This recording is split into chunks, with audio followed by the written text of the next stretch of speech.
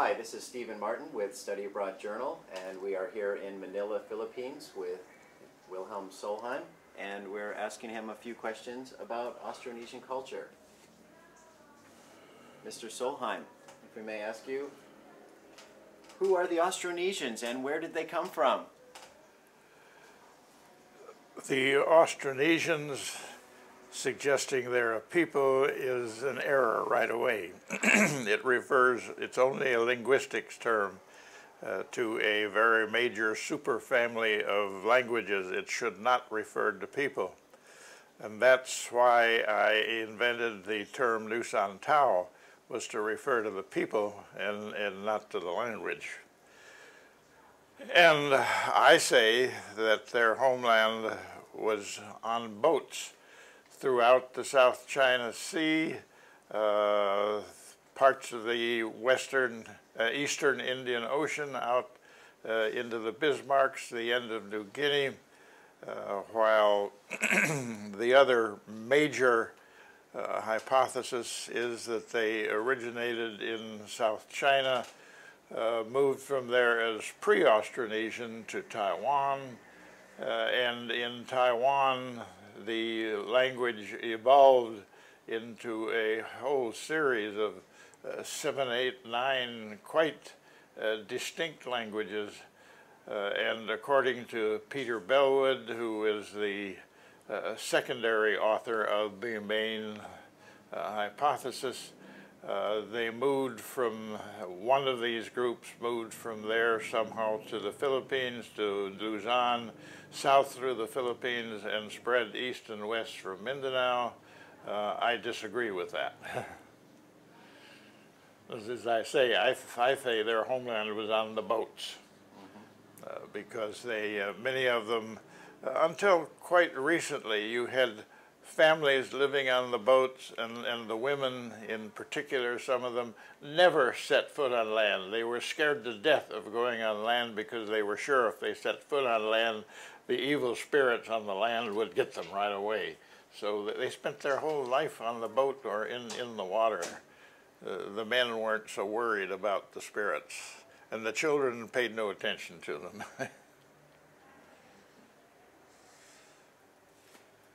can you tell us about Taiwan? Uh, Taiwan is such a peculiar uh, uh, component to this idea of Austronesian studies, and uh, uh, living and studying in Taiwan myself, it's a, a curious subject.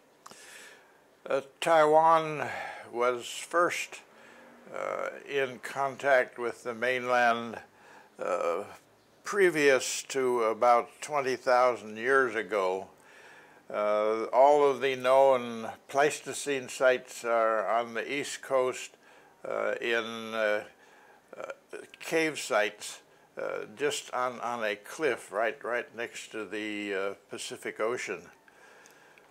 And there's a question, did these continue? Did they intermix with the Austronesian? They probably did, but uh, I don't know that anybody is particularly worried about that and paid any attention to that particular problem.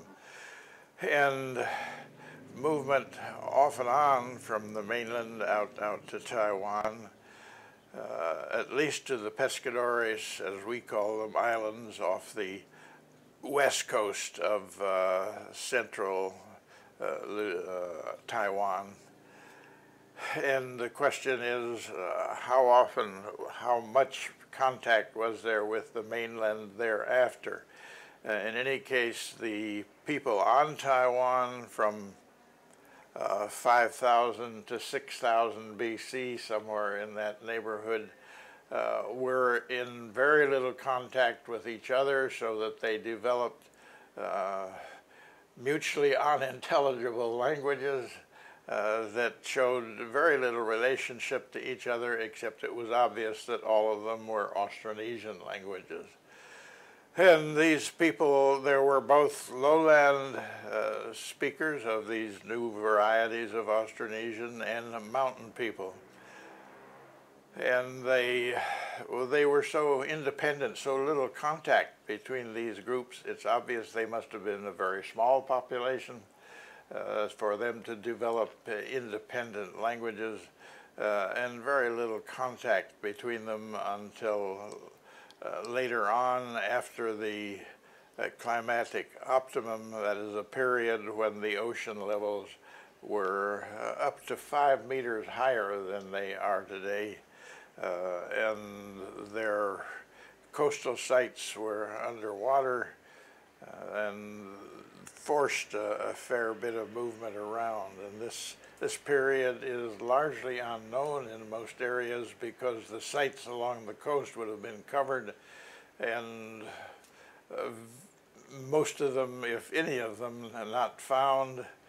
Uh, and it was never thought to look inland for them, and it's only recently that they've realized that uh, there would be sites inland, and they are finding uh, some of the earlier inland sites, but this is so recent, there hasn't been much published about them yet, and so on. So there's uh, still uh, a certain amount of controversy about the beginnings of these uh, Austronesian people on, on Taiwan as I have always felt one particular group on the East Coast, the AMI, A-M-I-S, uh, were a group that came up from the Philippines because they're, they're the group that's most similar, but uh, linguistically they don't appear to be closely related to any of the Philippine languages either. So it, it's, it's a big problem as to just how their relationship works. Uh, and uh, when they started speaking to each other again, and that appears to be uh, after Japanese contact uh, at the beginning of the 20th century, or a little bit earlier than that, uh, that there started to be more communication around. Mm -hmm. Mm -hmm. So there's lots of controversy left. Mm -hmm. When was the climatic optimum that you talk about? What what time period are we talking? Oh, about? this this is from uh, approximately 3000 BC, uh, plus or minus 1500 years. That is possibly as early as 5000 BC, uh, and getting back to more or less the present day sea level, uh, about uh, somewhere between two and 3,000, more like 3,000 years ago.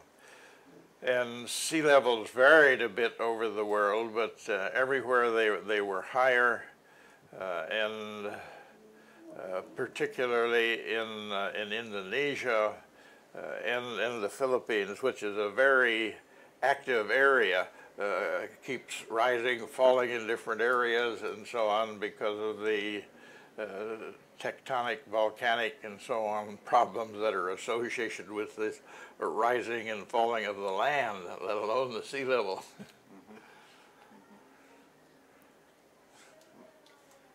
about the Batanes Island chain, and how did you think that fits into this? Uh, which which island? Well, chain? the Batanes. Oh, the Batanes uh, Islands and uh, oh, okay. Itbayat and yeah. uh, Batan and Sabtang Island. Um, how does that fit into the this Austronesian studies?